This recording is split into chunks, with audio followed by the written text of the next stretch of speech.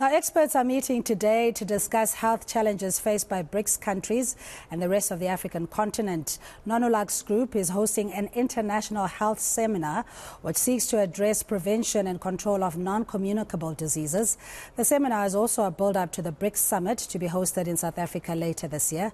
Numolux Group COO Anton Arendse joins us now. Good morning to you and thank you so much for your time. Just the in terms of South Africa being the host to a very critical uh, summit around around health issues and preventable diseases as we see with the outbreak of cholera in Hammanskraal. What are the objectives uh, and the tangible outcomes that you anticipate? Good morning.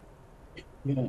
Uh, good morning to you, Cindy. So, uh, the I, th- I, think before responding to your to your question around outcomes, I think it's important to uh, just give some context uh, around uh, the seminar and the seminar series and why Numolux has chosen to um, initiate this, for us, a very important intervention. So, um, say what you want about BRICS, the merits or demerits of that. Uh, the the world and the globe is in a, in a world shifting moment. We're finding that in terms of uh, global economy, global population, um, the, the the the bulk and the shift is moving uh, significantly to uh, to the global south. The majority of our populations are within the BRICS communities. Um, the latest Bloomberg reports show uh, that global GDP um, is going to uh, be moving significantly from G7 to to these five uh, countries, and no doubt, uh, subsequent to August, that list of five countries are likely to be expanded.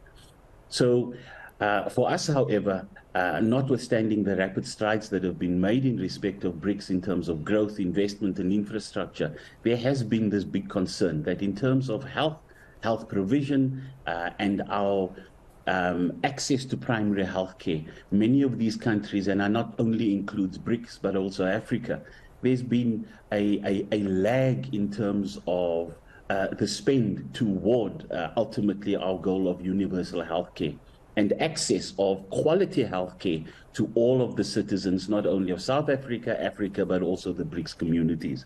And hence um, our, uh, our looking to initiate um, this uh, seminar series.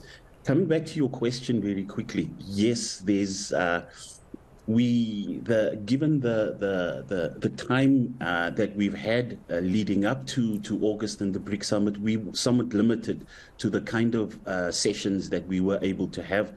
Um, and yes, at this point in time, cholera is, is pretty much front and center. But the the situation at this stage, uh, and one looks at it broadly, while communicable diseases such as malaria, TB, HIV, um, and you've mentioned others, are still uh, the biggest concerns in Africa.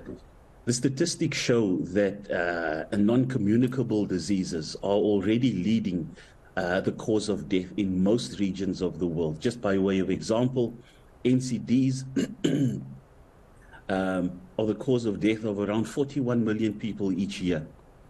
Um, and of all NCD deaths, importantly, 77% are in low and middle income countries. And here we would include uh, many of the BRICS uh, and almost certainly the majority of African countries. And so for us, um, it does become important that we not only talk about the here and now, uh, but also start looking again in the context of the rapid growth of, uh, of our BRICS nations that in terms of health care and health provision, um, issues such as uh, both communicable but importantly, the longer term and the preventable non-communicable diseases uh, are dealt with as a. Mr. Mr. Arendse, just in the interest of time, I just want to jump in there in, in the sense that is when you look at the uh, lack of maintenance around infrastructure, access to basic services like water, clean water mm. in particular, how is South Africa playing as an equal partner in the BRICS communities, and what is it that we bring to the table if we are not necessarily also um, strong in terms of pharmaceuticals or research and development and ensuring that we are able to take care of our own affairs before even extending to the rest of the world? Look, I think, uh, Cindy, these are, it's an important question that you ask. The, issue, and, and in part, this is, is, is it's an aspect that uh, as a private sector initiative or uh, entity, it's not one that we can answer completely because I believe that um, really as the private sector, we latch onto the initiatives provided and initiated by the state. So, uh, I, I, and I believe you, you again drawing to the issue of, of cholera.